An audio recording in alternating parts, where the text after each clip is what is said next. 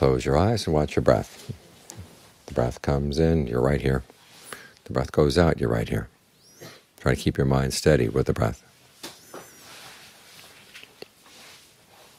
The breath comes in, goes out, but you want the mind to be at an even keel. It's like a post at the edge of a sea.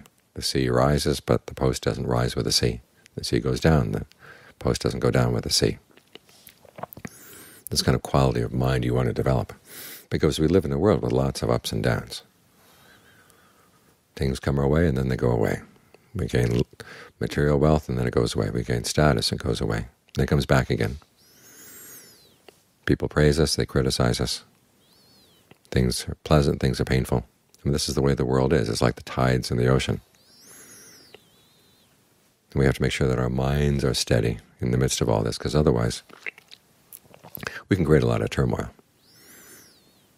Say somebody comes and says something really negative to you, well, you keep in mind the fact that, okay, that's their prerogative. They can say that. They have the right. They've got the mouth to say things.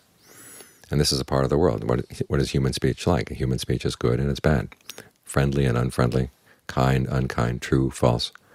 It's just the normal way of human speech. So when we meet up with these different kinds of human speech, we have to make our, keep our mind at normalcy too. Because the speech that comes our way, that's basically our old past karma coming back at us. That's what's coming at us, and what we do in response, that's our new karma. That's what you have some control over. There's a lot of things in the world that you've done in the past and they're going to come back at you. You can't change that, but you can change your attitude so that you don't have to suffer from them. It's like you throw a snowball and now you're on the other side. You can get out of the way. In other words, even if we have past bad karma, we don't have to suffer from it if we keep our minds on an even keel, if we learn how to keep our minds solid and steady, keep them normal in the face of the normal way of the world. Our problem is that we see these things that we don't like as abnormal, and our minds get abnormal as a result.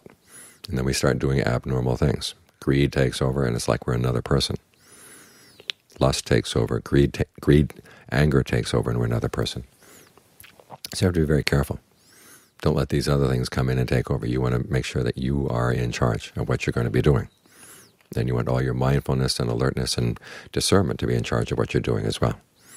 So this is why we train the mind so that in the face of all the normal things of the world, we don't get abnormal.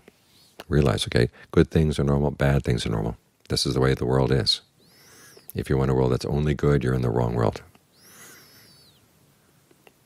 So we have to make sure that our actions are good, are the things we do and say in response. So remember, when something bad comes your way, that's your past karma. Accept it like a good sport. But realize you don't have to suffer from it and you have the choice to do good things in response or bad things in response. And the mind is kept at normalcy, you're a lot more likely to do the right thing, the skillful thing. It doesn't create a lot of more bad karma to come back at you again. So remember, the mind is always making its world, shaping its world. The world you're in right now is the world that you've shaped. But what you're going to shape from now and on into the future, okay, that's your choice. So when the mind is well trained, okay, you can shape a good world. It's like a, a potter at a wheel. The potter's mind has to be concentrated, alert, can't move around a lot. The potter's mind is tilting in one direction or another, then the pot's going to tilt in one direction or another, then it's going to be a ruined pot. So keep your mind straight, keep it on an even keel. And the actions that come out, the thoughts you think, the words you say, the deeds you do, those will be all for the good.